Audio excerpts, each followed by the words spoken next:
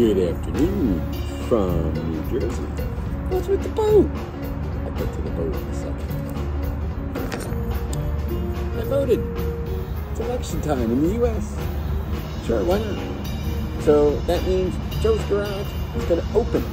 I'm actually going to make a drink. Sure, I have everything I need.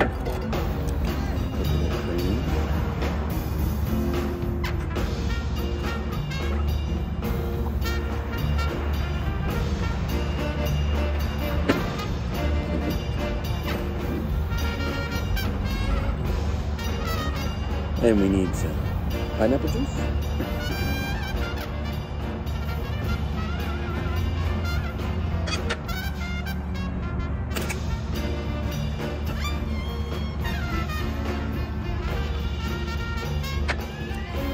And we need some orange juice.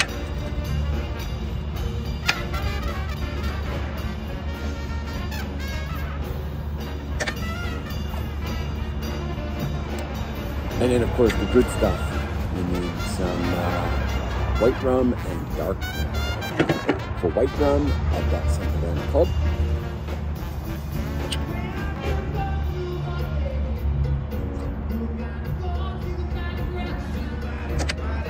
And dark rum, I have Pyrat.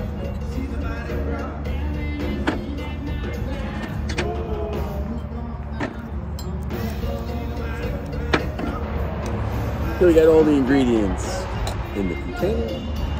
A little shake, shake, shake. Something's not right. Hold on a second. That's more like it. Joe's Garage is open now. Get it? It's also a mail call. You knew it was coming. You knew it. So, uh, yeah, I made a painkiller. You saw me make a painkiller. When am I going to put it? Well, this goes back to the Oh. Here it is. It is a tiki boat. That is that sailing ship, the Kon-Tiki. Check this mug out. And how do you drink out of it? You use one of these glass straws. And what do you do? You pour it in.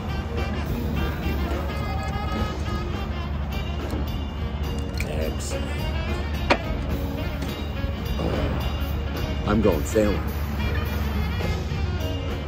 Oh, delicious. It's a work of art, this mug. Sure, a little hard to hold, but I'll manage. Make it a great day from Kontiki. That's an awesome mug.